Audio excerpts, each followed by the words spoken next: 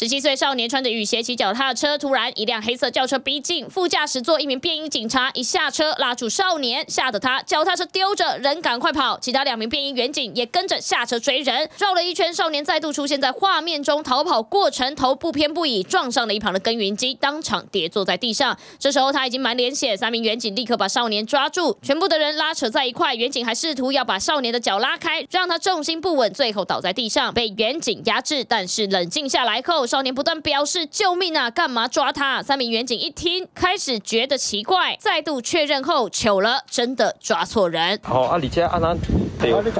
事发在彰化深港翻金路，七月四号下午五点多，十七岁的少年当时刚从秧苗场下班，正要回家，结果遭到远警压制，右脸颊整个被割云机划伤，送到医院还缝了十七针，身体也有多处挫伤，疑似因为晒得比较黑，就被误认成外国人。我是直接做上去。听着囡仔发救命，我是讲无代，无是隔壁咧发救命，才行我去。两个、三个嘛，共二两两个共二头啊，石头啊，贵宾转会啊，我头是当作是行车纠纷嘛。近一名男子骑乘自行车并使用手机，精神状况不佳，行车摇摆不定，睡难停。警察抓人搞乌龙，少年无辜受到惊吓，还可能破相，要等拆线后看伤势决定后续修复。TVB 陈宇君、陈志忠、罗维新彰化报道。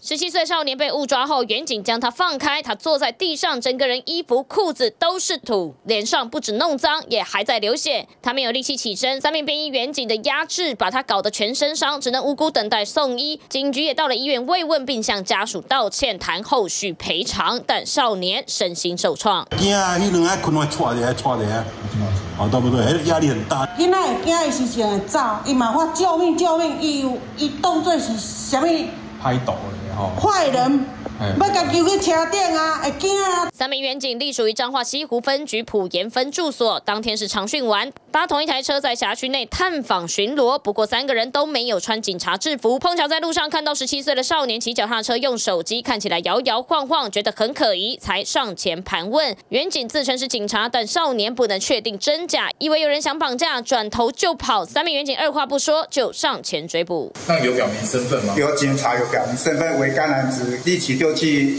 汽车逃跑。刚才你讲你在找，你有在表明，你哪会讲一句话？我怎么知道他是不是真的是警察呀？但是他不是真的警察，我怎么办？